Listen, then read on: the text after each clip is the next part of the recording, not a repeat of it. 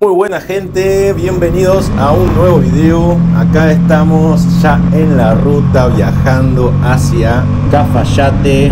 Pero, pero, pero primero vamos a detenernos a la mitad del camino porque hay un lugar espléndido para conocer y para visitar. Y el nombre de dicha belleza es el dique Cabra Corral.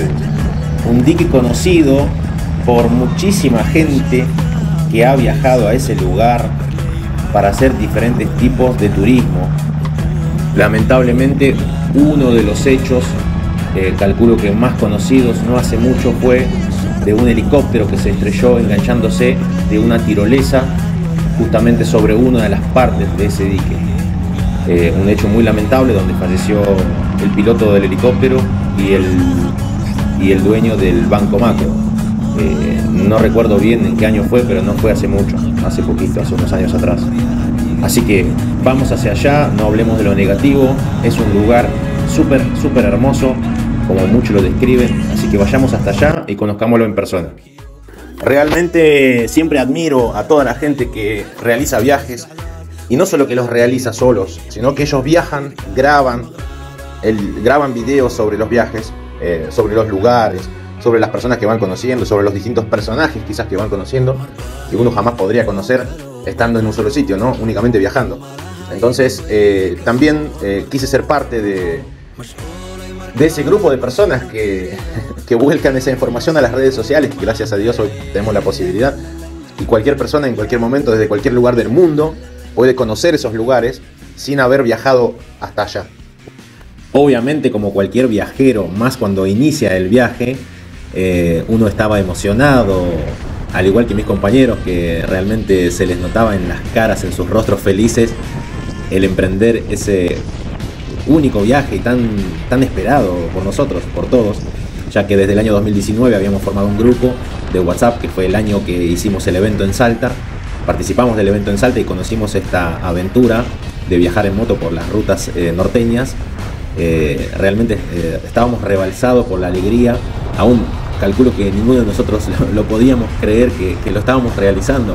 Estábamos a punto de, recorrer eh, una parte de la ruta 40, la ruta 68, la 51, que son lugares únicos en el mundo, realmente muy, muy emocionante.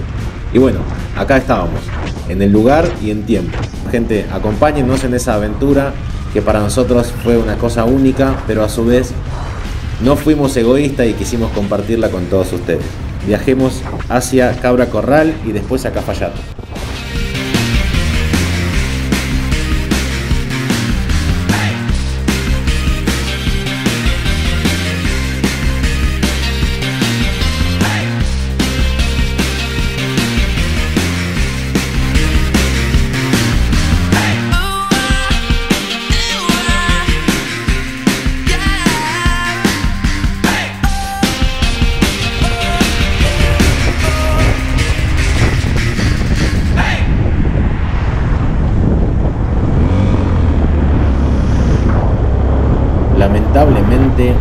El tiempo no nos acompañaba de la mejor manera, estaba muy nublado, cada tanto lloviznaba, caían algunas gotas, estaba bastante fresco y húmedo, el sol no lo hemos visto casi en todo el día, lo que sí cada tanto se largaba a llover.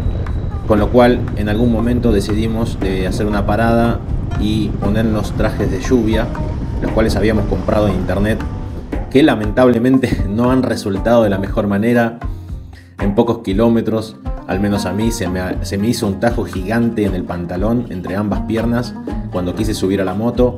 Y bueno, imagínense que justo la moto tenía la inclinación del tanque y el asiento, que toda la lluvia cuando llovía me entraba justo en el lugar menos deseado. Así que bueno, nada, así todo el viaje fue de disfrute. Logramos llegar a Cabra Corral, logramos comer unas riquísimas empanadas en la confitería a la orilla del dique y logramos emprender el viaje a Cafayate.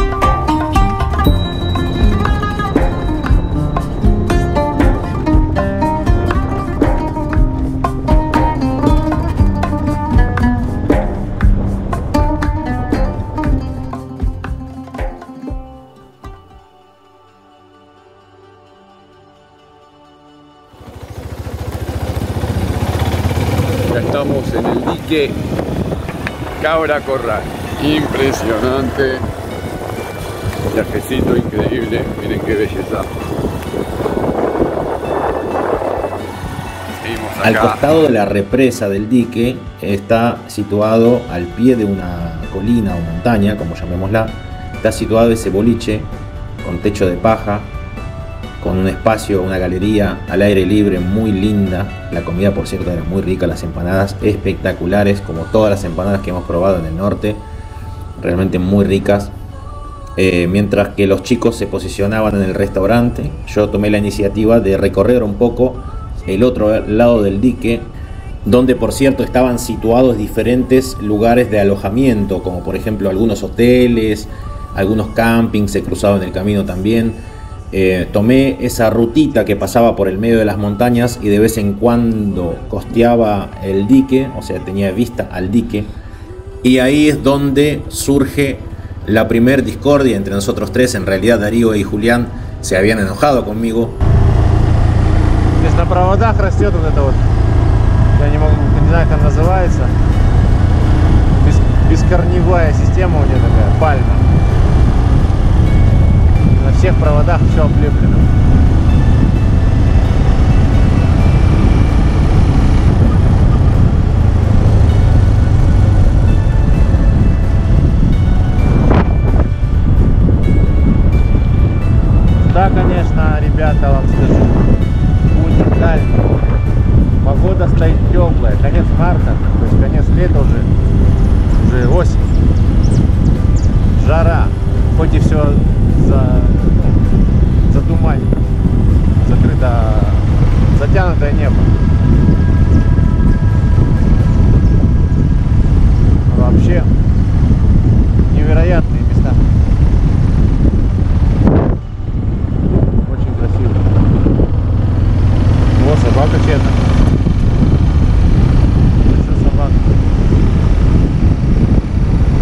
Solo, eh, no porque ellos no fueron conmigo a recorrer, sino porque en realidad yo tampoco quería irme muy lejos.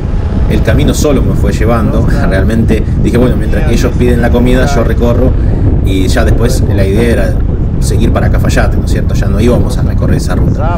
Pero una de las posibilidades era quedarnos a, hacer la noche sobre el dique Cabra Corral. Entonces dije, bueno, si llego a conseguir algún lugar económico y que nos guste, podríamos verlo como una opción de quedarnos a hacer la noche ahí.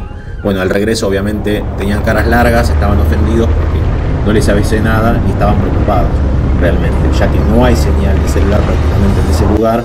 Por ese motivo es que era entendible que se ofendieran de estar esperándome un largo rato y yo emocionado por la rutita interna del cabra corral, realmente perdí noción del tiempo. Cuando decido dar la vuelta y regresar, me di cuenta que me había ido bastante lejos, ya que me llevó tiempo regresar al lugar de partida, donde estaban los muchachos. En el camino me lo encuentro al flaco, al DJ Pela, a Darío, viniendo a buscarme pobre. La verdad que se preocuparon en serio, dije yo. Bueno, cuando regresamos, obviamente recibí mis reclamos.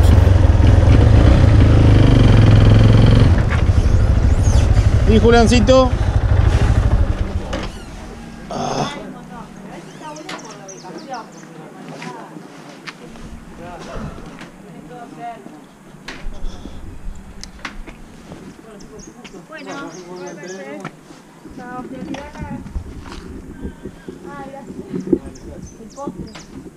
¿Te comiste todas las empanadas? Oh. ¿Y vos? El hambre, el hambre es lo único que los contiene. solo no hay ningún no, yo no me quiero ir solo. No hay ningún pero avisamos porque nos preocupamos. ¿En serio? Eso es lo que quería lograr. ¿Y eso es lo que quería lograr? Sí, si lo veo escapo capaz le pasó algo. ¿Y sí? Está bien. Pero igual pedí comida, me dijo. Era una prueba, una prueba, una prueba. Igual pedí comida. y no creo que sea tan papanata de ese solo y no avisar. Y lo hice. Y lo hice. Y lo hice. Casi nos chocamos de frente. Qué lindo, Qué lindo lugar, ¿no? Hermoso.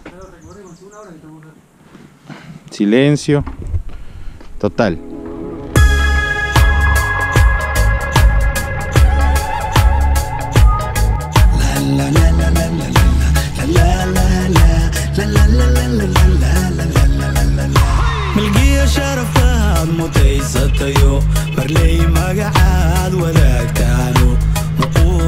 Bueno, mis amigos, como ya habrán visto, la situación que se nos generó creo que es algo normal, ya que no estamos acostumbrados a viajar juntos, eh, compartir eh, espacio, compartir un camino. Son cuestiones que, que surgen en el viaje, cuando no viajas solo, obviamente. Realmente es parte del viaje ese tipo de perezas, que más adelante seguramente habrá otras, pero bueno, sobre eso todavía no les voy a contar nada. Lo que sí les quiero decir que si tienen la posibilidad alguna vez viajar hacia estos lados de la Argentina, de la República Argentina, no dejen de hacerlo ya que son lugares muy épicos y realmente es como que se te resetea todo. Realmente cuando estás ahí se te olvidan un montón de cosas y te llena el corazón y el alma de una energía muy muy especial, muy única. Al menos eso fue lo que me pasó a mí y a, nosotros tres, porque lo veníamos hablando y lo seguimos hablando el día de hoy. Que, qué sensaciones nos dio este viaje. Y vuelvo a repetir, era imposible viajar y no llevarlos a ustedes con nosotros, realmente.